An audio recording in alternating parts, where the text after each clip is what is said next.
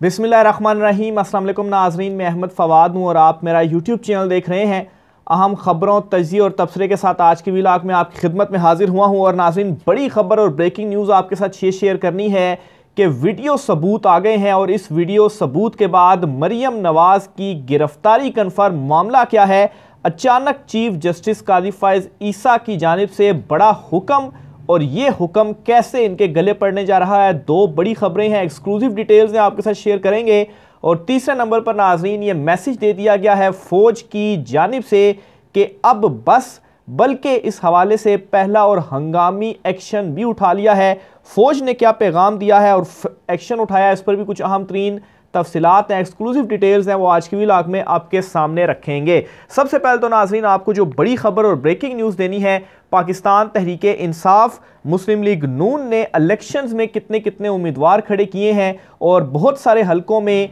Advance में ही नून league की जो जमानत है, वो जब्त हो चुकी है। तो मामला नाजरीन कुछ यूँ है कि नून लीग ने कौमी असम्बली की दो में से सिर्फ़ और सिर्फ़ 208 नशस्तों पर अपने जो उम्मीदवार हैं वो खड़े किए हैं। वाजे करता चलूँ कि ऑलरेडी जो मखसूस नशस्तें हैं, पहले दो होती थी और फिर फाटा का जब इंजमाम हुआ तो उसके बाद अब दो सौ छियासठ हैं। तो ऑलरेडी मखसूस नशस्तों के ऊपर पाकिस्तान तहरीक इंसाफ के साथ जो कुछ किया गया, बल्ला छीना गया, लेकिन इसमें भी जो कानूनी जंग है, वो अभी आगे चल कर होनी है। पाकिस्तान तहरीक इंसाफ ने जहाँ जहाँ उनका टिकट तो वैसी बात है निशान के ऊपर तो उम्मीदवार इलेक्शन नहीं लड़ रहे, लेकिन वो अब भी पाकिस्तान तहरीक इंसाफ का हिस्सा है और इलेक्शन कमीशन ये कह चुका है कि पाकिस्तान तहरीक इंसाफ रजिस्टर्ड जमात है, अभी भी उसे कलदम करार नहीं दिया गया। तो वो आज़ाद उम्मीदवार जिन्होंने पाकिस्तान तहरीक इंसाफ का नाम लिखा हुआ है अपने कागजात नामजदगी के अंदर, उन पर जो डिसिप्लिन है वो लागू होगा। यानी कि बल्ले के निशान ना होने से कोई उतना ज़्यादा फ़र्क नहीं पड़ रहा कि डिसिप्लिन लागू नहीं होगा और इसी तरीके से मखसूस नशस्तों वाला जो मसला है, वो भी आगे चल कर हल ऐसे होना है कि पाकिस्तान तहरीक इंसाफ की आज़ाद उम्मीदवार जो इलेक्ट होकर आएँगे इसकी तनासब से मखसूस नशस्तें भी दी जा सकती हैं। बहरहाल ऑलरेडी नून लीग ने दो सौ छियासठ में से सिर्फ़ और सिर्फ़ 208 नशस्तों पर उम्मीदवार खड़े किए हैं। अट्ठावन ऐसी नशस्तें हैं जहाँ पर मुस्लिम लीग नून पहले से ही हार मान चुकी है और उन्हें ये यकीन था कि इन नशस्तों पर हमारी जो ज़मानत है, वो जब्त होनी है, हमने हारना है और इन्हें बल्कि इन नशस्तों पर तो कईयों पर ऐसे भी हुआ है कि टिकट लेने वाला कोई नहीं था और मुस्लिम लीग नून अपने टिकट भी मुकम्मल तौर पर जारी नहीं कर सकी और ये वही मुस्लिम लीग नून और वही मरियम नवाज़ हैं जो के दावा किया करती थी इमरान खान साहब के हवाले से और बाकी भी कि पाकिस्तान तहरीक इंसाफ को टिकट लेने वाला कोई नहीं मिलेगा। लेकिन सूरत ये है कि पाकिस्तान तहरीक इंसाफ के तो छः छः उम्मीदवार सामने आ गए हैं। एट द एंड एक ही आज़ाद उम्मीदवार होगा लेकिन पाकिस्तान तहरीक इंसाफ के उम्मीदवारों को तो आ, को तो कोई कमी नहीं हुई उम्मीदवारों की लेकिन नून लीग को ये बड़ी कमी का सामना हुआ और अट्ठावन नशस्तों पर उन्होंने उम्मीदवार नहीं खड़े किए जबकि पाकिस्तान तहरीक इंसाफ ने दो सौ छियासठ में से दो सौ छियासठ पूरी नशस्तों के ऊपर अपने उम्मीदवार खड़े किए हैं। दूसरी तरफ़ नून लीग ने सूबाई असम्बलियों की यानी कि चारों सूबों की पंजाब सिंध बलूचिस्तान और के पी चारों मिलाकर पाँच सौ तिरपन नशस्तें बनती हैं, जिन पर नून लीग ने सिर्फ़ और सिर्फ़ चार सौ तिरसठ उम्मीदवार खड़े किए हैं और पाकिस्तान तहरीक इंसाफ ने पाँच सौ तिरानवे में से पाँच सौ तिरानवे नशस्तों पर अपने जो उम्मीदवार हैं, वो खड़े किए हैं। अगर आप कौमी असम्बली और सूबाई असम्बलियों की कुल सीटों की बात करें तो नून लीग ने कुल एट फिफ्टी नाइन, जबकि पाकिस्तान तहरीकें एट फिफ्टी नाइन सीटों में से सिक्स सेवेंटी वन जबकि पी टी आई ने एट फाइव नाइन में से एट फाइव नाइन के ऊपर जो अपने उम्मीदवार हैं वो खड़े किए हुए हैं। नून लीग जो दो तिहाई की बात करती है कौमी और सूबाई असम्बलियों में आ, उन्हें जो है वो उम्मीदवार ही पूरे नहीं मिले कि वो पूरे उम्मीदवार खड़े कर सकें। यानी कि सिर्फ़ सूबाई नशस्तों के ऊपर आप देखें तो आ, ये तकरीबन जो है वो सत्तर के करीब नशस्तें बनती हैं सूबाई असम्बलियों की, जहाँ पर नून लीग ने अपने उम्मीदवार ही खड़े नहीं किए। बहरहाल, जहाँ पर उन्होंने खड़े किए हैं, वहाँ पर भी इनकी इंशाल्लाह जो जमानतें हैं, वो जब्त होंगी, क्योंकि डट कर खड़ा है कप्तान। दूसरी बड़ी खबर नाजिन जो आपके साथ शेयर करनी है, वो इमरान खान साहब की जानब से आज जेल से एक और बड़ा पैगाम है, जो शेर अफजल मरवत और पाकिस्तान तहरीक इंसाफ के दीगर रहनुमा हामिद खान और राउफ हसन के दरमियान मामला चल रहा था। इस पर इतलात ये हैं जी कि हामिद खान साहब ने अडयाला जेल में इमरान खान साहब से मुलाकात की है और हामिद खान ने इमरान खान को ये बताया है कि उन्होंने दौरा सिंध में मुखालफी के बजाय अपने लोगों पर तनकीद करना शुरू कर दी है। यानी कि शेर अफजल मरवत ने आरिफ अलवी के अलावा राउफ हसन से मुतलक नाजेबा अल्फाज भी जो इस्तेमाल हैं वो किए गए हैं और ये सारा मामला इमरान खान तक पहुँचाया गया जिसके बाद इमरान खान साहब ने शेर अफजल मरवत को फ़ौर पेश होने का जो पैगाम है, वो पहुँचाया है और उनसे कहा है कि आप फौरी तौर पर जो है वो मेरे सामने पेश हों ताकि इमरान खान साहब इस मामले के हवाले से कोई जो ऑर्डर है, वो शेर अफजल मरवत को दें कि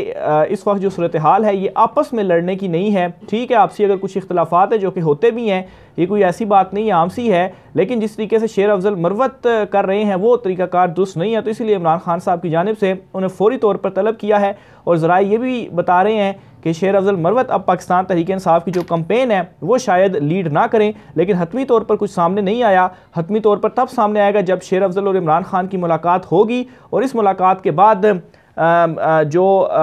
बयान आएगा शेर अजल मरवत का जो डिटेल्स आएँगी, उसी से ही कन्फर्म होगा। लेकिन इतना कन्फर्म है कि इमरान खान ने शेर अफजल मरवत को जेल में बुला लिया है इस सारे मामले के ऊपर। चीफ जस्टिस कादी फाइज ईसा की जानब से अचानक से एक ऐसा फैसला दिया गया है, जो कि ख़ुद इनके गले पड़ने जा रहा है, और वो कैसे छोटी सी तहरीर है, दो पैराग्राफ पर मुश्तमिल। इस केस की खबर में लास्ट वीलाग में भी आपको दे चुका हूँ कि क्लाशनकोव से मुतलिक ये केस था और उस केस में चीफ जस्टिस काजी फायज़ ने आज खुद नोटिस भी ले लिया और एक हुक्म भी जारी कर दिया। लेकिन माजी में काजी साहब जो है वो कुछ और कहते थे। मामला क्या हुआ है? ज़रा सुनिएगा। खबर यह है कि काशिफ और इस्माइल नामी मुलजिम इमरान नामी शख्स के घर से क्लाशनकोफ चोरी के मुकदमे में गिरफ़्तार हैं। सुप्रीम कोर्ट ने मुलजिमान की जमानत मंजूर कर ली है। मगर चीफ जस्टिस कादी फायज ईसा ने चोरी के मुलजिमान की जमानत के केस में सेक्रेटरी दाखिला, तमाम सूबाई home secretaries, inspector general police से रिपोर्ट तलब की है कि बताया जाए मुल्क भर में ममनू असले के कितने लाइसेंस जारी हुए अटॉर्नी जनरल सूबाई एडवोकेट जनरल्स को भी नोटिस जारी करते हुए हुक्मनामे की कापी भिजवाने की हिदायत की। चीफ जस्टिस ने ऑब्जर्वेशन दी कि पाकिस्तान से क्लाशन कोफ कल्चर को ख़त्म करना होगा। चाहे आ, इकदाम दुरुस्त हो, मगर क्या चीफ जस्टिस कादी फायज ईसा की जानब से ये सो मोटो नहीं लिया गया? क्योंकि चोरी के मुकदमे के मुलजमान की जमानत के केस में ममनुआ असले से मुतलिक रिपोर्ट तलब कर लेना कौन से आइनी और कानूनी इख्तियार का इस्तेमाल है? और हमें तो पढ़ाया गया था कि जनाब चीफ जस्टिस के पसंदीदा तरीन कानून प्रैक्टिस एंड प्रोसीजर एक्ट के बाद चीफ जस्टिस अकेले सो मोटो लेने का इख्तियार नहीं रखते। तो ये सारी की सारी बातें जो चीफ साहब माजी में कुछ और कहते थे, अब कुछ और कह रहे हैं, उनके अपने ही गले में पड़ती जा रही हैं। फिर इसी तरह से जिस कानून की खातिर जनाब ने ज़मीन, आसमान को मिलाया, इसी की खिलाफ वर्जी नहीं कर दी गई। और ऐसा पहली मरतबा नहीं, बल्कि एक लंबी दास्तान है, जैसा कि फैज़ाबाद धरना नज़रसानी केस, बहरिया टाउन अमल दरामद केस की समात को देखा जाए तो जनाब ने दायरा इख्तियार से निकलते हुए अकेले बैठ कर दर्जनों सोमोटो नोटिस लिए। अब अगर इस कानूनी खिलाफ वर्जियों पर सहाफ़ी कुछ लिख दें तो नागवार गुजरता है और हकूमत जे आई टी तश्कील देती है, ताकि बेनकाब करने वाले गुस्ताखों को सबक सिखाया जाए, मगर क्या अच्छा ना होता हुकूमती जी आई टी वगैरह की बजाय तोहनी अदालत का नोटिस भेजा जाए ताकि तोहनी अदालत करने वाले और जिसकी तोहन हुई, दोनों का आमना सामना तो हो सके। तो ये जी, बड़ी ज़बरदस्त तहरीर है जी। वसीम मलक साहब हमारे साथी सुप्रीम कोर्ट में हमारे साथ कवर करते हैं। तो ये केस है और इस केस में ये जो खिलाफ वर्जियाँ हैं, इनकी जानब से हाईलाइट की गई और चीफ साहब की जानब से अब ये सुप्रीम कोर्ट ऑफ़ पाकिस्तान में बैठकर मामला किए जा रहे हैं और दूसरी तरफ़ जो जेआईटी है, वो हम सहाफ़ियों को ही पकड़ने में लगी है कि आप क्यों बात करते हैं और क्यों चीफ जस्टिस कादी फायज ईसा के ऊपर तनकीद करते हैं। बहरहाल ये जो जेआईटी बनी है, इस जेआईटी ने सबसे पहली जो इनको एक्शन लेना चाहिए और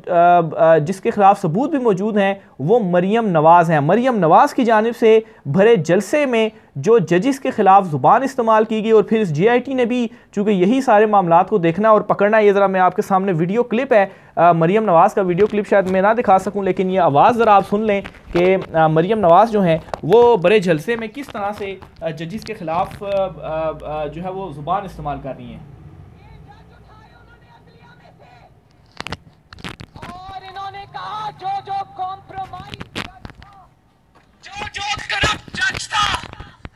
ये माफ़ कीजिएगा मेरा दोबारा से चला ये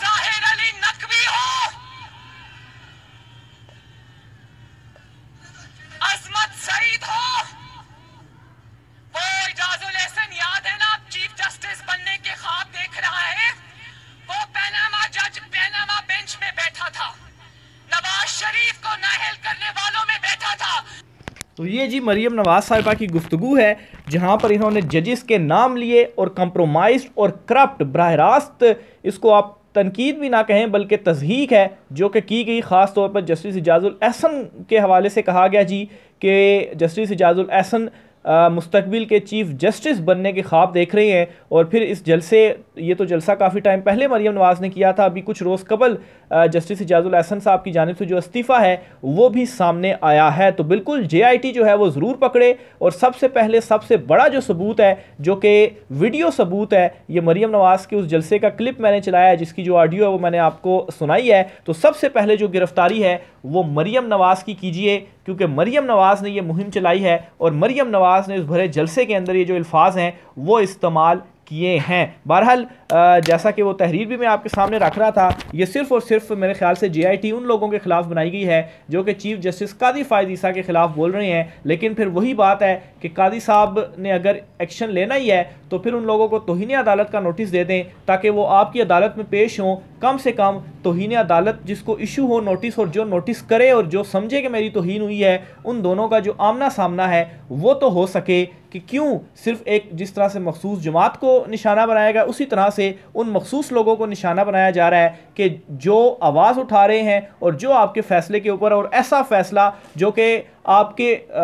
अपने जो हामी सहाफ़ी थे, वो उसके ऊपर तनकीद करते हुए उसे मुतनाज़ कह रहे हैं, तारीख़ का बदतरीन और मुतनाज़ फ़ैसला जो कि कूड़ेदान में जाएगा, क्योंकि आपने एक पूरी जमात को इलेक्शन से आउट किया और करोड़ों जो वोटर्स थे उनका जो राइट था बेसिक राइट था वोट देने का आपने उनसे वो छीना कि वो अपने पसंदीदा जो उनका बल्ला का निशान है उसको वो आ, वोट करें। अब खैर बाद में आज़ाद हो गए लेकिन आ, अब सिचुएशन ये बन गई है कि ये तमाम वोटर्स खुद ये पहली मरतबा पाकिस्तान की हिस्ट्री में ऐसा होने जा रहा है कि वोटर्स खुद उम्मीदवारों को ढूंढ रहे हैं कि पाकिस्तान तहरीक इंसाफ का वो उम्मीदवार जो आज़ाद हैसियत में खड़ा है उसको क्या निशान मिला है ताकि हम उस निशान के ऊपर ठप्पा लगा सकें। आखिर में नाजिम, फ़ौज की जानब से भी बड़ा एक्शन उठा लिया गया है। आपको मालूम होगा कि रात गए जो मिज़ाइल हमला हुआ पाकिस्तान पर ईरान की जानब से तो इसमें नाजिन ये बड़ा फ़ैसला सामने आ चुका है कि इस सारे मामले के ऊपर खामोश नहीं रहा जाएगा। और पहला बड़ा हंगामी एक्शन भी पाकिस्तान की जानब से उठा लिया गया है। और वो एक्शन ये है कि सफारती ताल्लुकात मुनक़ा करने के हवाले से जो सफ़ीर पाकिस्तान पाकिस्तान का ईरान में, सफ़ीर को पाकिस्तान ने अपने वापस बुला लिया है। यानी कि ये कदम ये बता रहा है कि सफारती ताल्लुक ईरान से पाकिस्तान ने ख़त्म कर दिए हैं और अपना सफ़ीर इसीलिए ख़त्म कर दिए या आप इसको मुतल कर दिए कह सकते हैं। और इसीलिए जो उनका सफ़ीर था पाकिस्तान का, वो वापस बुलाया है। और मेरे ख्याल से जिस तरह से पाकिस्तान के ताल्लुक भी थे, ईरान के साथ तो एटलीस्ट अगर इस तरह का कोई कदम उठाना था या उन्हें कोई रिजर्वेशन थी तो वो ऑन टेबल इन तमाम तर मामला को पाकिस्तान के सामने रख सकता था। अब नाजरीन, ज़रा एक खालिद जमील साहब की ट्वीट है, वो भी मैं आपके सामने रखना चाहूँगा। पाकिस्तानी आर्मी चीफ ने जुलाई में तेहरान का दौरा किया। Pakistani army chief Tehran, Iran में गए थे। अच्छा और जुलाई में वो गए थे। वज़ी अजम की गुजशत रोज़ ईरानी वज़ीर ख़ारजा से मुलाकात हुई। आखिर क्या वजह है कि इतने अली सतह रवाबित के बावजूद ईरान हम पर अतमाद नहीं कर रहा? ईरानी क्यादत ने हमला कि हमले के लिए इसी वक्त का इंतखब क्यों किया जब सियासी क्यादत मुलाकात कर रही थी? तो ये नाजरीन जो है वो कुछ फैक्ट्स हैं इस हवाले से कि दौरों के बावजूद, मुलाकातों के बावजूद ये जो हमला है, वो हुआ और फिर उसके बाद पाकिस्तानी अवाम के लिए लम्हा फिक्रिया ये है कि ईरान के साथ ताल्लुक में नौबत यहाँ तक कैसे पहुँच गई। कौमी खुद मुख्तारी, कौमी हमीत और गैरत पर कोई कंप्रोमाइज़ नहीं किया जा सकता। इन अवामिल का फौरी इदराक और तदारुक ज़रूरी है जिन अवामिल ने हमें यहाँ तक पहुँचा दिया है। पाकिस्तान का ईरान से अपना सफ़ीर वापस बुलाने का फ़ैसला खालिद जमील साहब सीनियर सहाफ़ी उनकी जानब से ये जो खबर है, वो दी गई है। तो बहरहाल इंटरनेशनल लेवल पर भी अब पाकिस्तान के लिए कुछ जो चैलेंजेस हैं, वो सामने आ गए हैं और इस हवाले से पाकिस्तान की जानब से ये बड़ा जो स्टेप है, हंगामी जो स्टेप है, वो उठा लिया गया है। मज़ीद डिटेल्स के साथ अगले विलाक में फिर आपकी खिदमत में हाजिर होंगे। अभी के लिए इजाज़त दीजिए। अल्लाह हाफिज़।